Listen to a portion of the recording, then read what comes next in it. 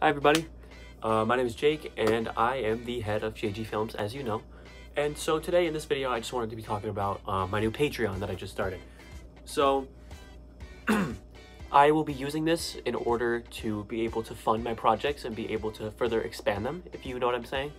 Um, and yeah, and with this you can get some benefits with it, like early access to things, um, never before seen content, behind the scenes content, uh, live streams exclusively, um, uh, VIP Q&As for specific tiers, and, um, you know, just a bunch of cool stuff, and even, uh, maybe even get a chance to get your name in the movie credits.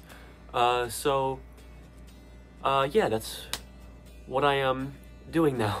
Uh, and also, you can see a lot of exclusive uh, clips or early released episodes of Sticks or whatever before they're uploaded. And um, you can watch clips like this one. What the hell even is this thing? Looks like a sci-fi weapon. Way to go, Einstein. Where'd you pull that one out of? So much for making conversation. Well, I think this is all fake. Probably just some fucking CGI or something. Or maybe some kind of space dildo. What is wrong with you?